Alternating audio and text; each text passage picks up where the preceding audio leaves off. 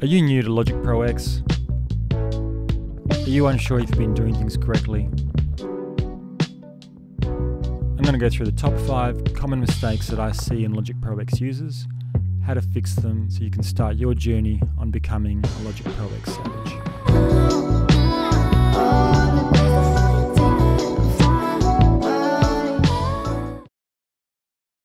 I'm just going to start with tempo.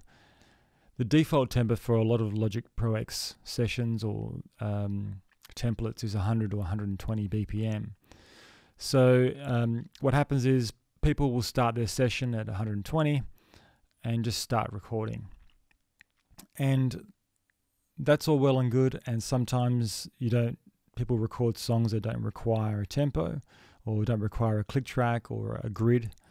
Um, it's just like free free form, and that's totally fine. Um, and other times when you're using loops, um, you kind of want everything to be in some form of grid as well, so you can just quickly get ideas. You can copy parts over from one chorus to the next, uh, and generally just stay in time. Here I've brought in a loop that's 152 BPM, and I put the obviously the session at 152 as well.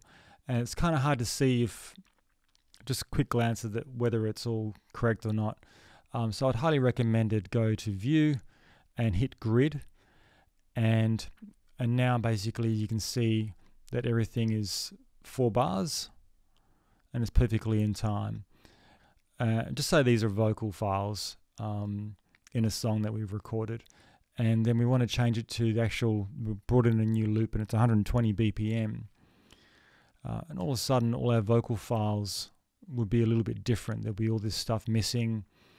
Um, and if you basically times that by, you know, hundreds of files that are in a session, um, they're all going to be kind of scattered throughout and they won't make any sense. And it's really difficult to put them back in place. So I would recommend to use some sort of tap tempo feature.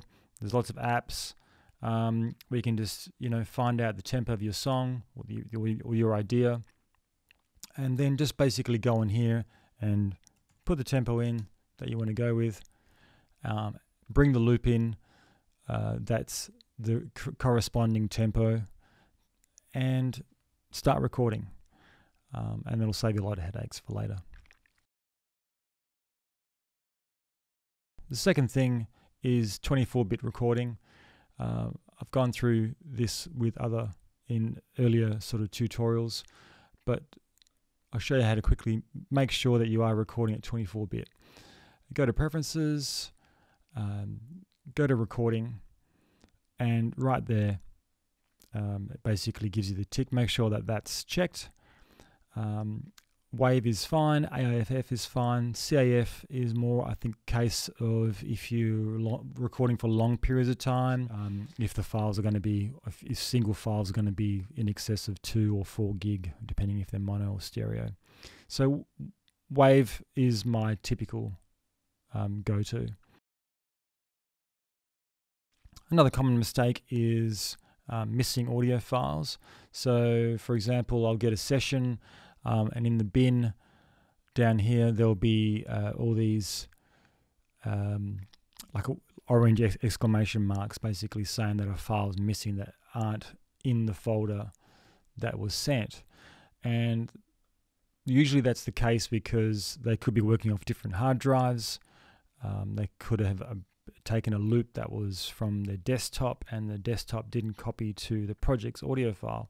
So a quick way to fix this, go to recording, project settings, go to your assets and make sure that you've clicked copy audio files in the project and also the sample rate as well. So just in case um, there's a different sample rate, someone recorded the wrong sample rate, you can bring it in and it's all in the one place. So when you go to export, uh, it will include the audio files.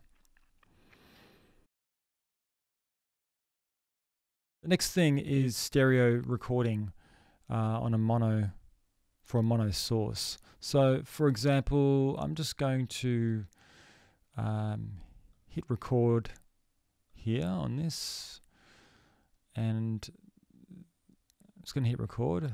And as you can, so it's just armed right now. And as you can see, um, I've got I'm using input two as my source at the moment. So if I were if I were to record this, this is just me doing quick test here. Uh, and as you can see, it's only coming out on one side. So if I were to put that on another track, and let's say it was a stereo track, this is just me doing. It'll be basically here. coming out like that, um, only on, on, the one side. Uh, and as you can see, it's so. Um, of course, we could make this mono and split it back. This is just me doing. So that's that's also doable, but it's it's also using double the, space. It's also using basically a stereo file to record um, a mono source. So I'd highly recommend uh, going here and making sure that you change the channel mode to mono. I'm using input 2.